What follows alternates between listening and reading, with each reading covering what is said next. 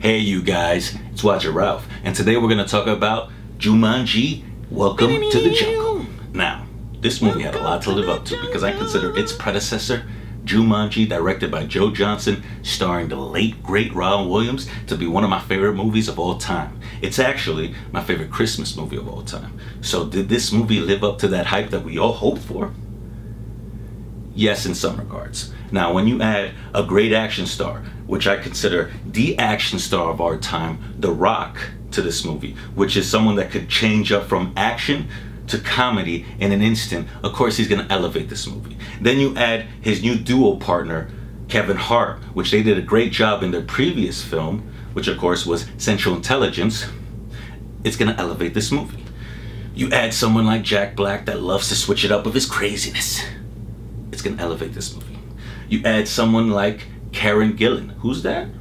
Well, if you've seen Guardians of Galaxy 1, Guardians of Galaxy 2, and you recognize half alien, half robot called Nebula, there, there she is. you could also probably recognize her from a short-lived show called Selfie. Or, of course, you could recognize her from the great show called Doctor Who, where she played Amy Pond, a pivotal character for many seasons, one of his big companions. I would even say that she was basically the star of the show during that run. She's you know she's basically played this character which is funny because it's basically a flip and a mixture of what she's now done in her career. When it comes to American films and, and TV shows she's playing more of the beautiful sexy superficial or in truth you know model with the mini skirt type of look. But when she did Doctor Who she was playing the girl from next door so it's actually a great job right here where she's basically doing both at once. So when you add all that, of course this movie is pretty good.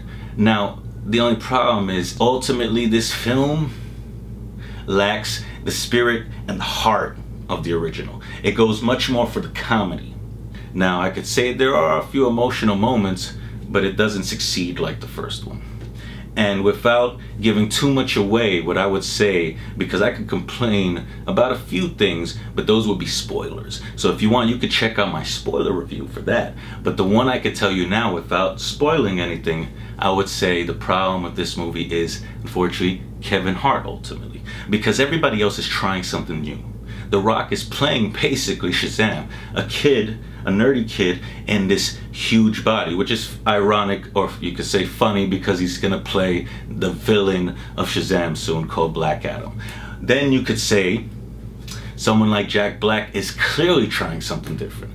And then Karen Gillan is doing a mixture of her American films, which is playing more of the sexy model in comparison to The Girl Next Door, which she did in Doctor Who. But then someone like Kevin Hart is playing Kevin Hart. And of course he's hilarious. But the problem is he keeps playing Kevin Hart and it's starting to get old. I mean, we could all agree with that. So that would basically be my only complaint without spoiling things. I could say I have a problem with the third act. But again, if you want more of that, go check out my spoiler review. And now it's time for me to rate the movie. And I give it stupid, stupid, stupid, stupid, stupid, stupid,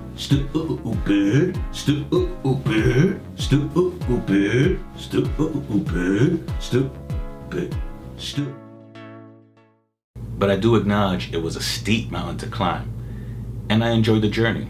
And I think you guys will too, as long as you acknowledge what path is laid in front of you. So enjoy.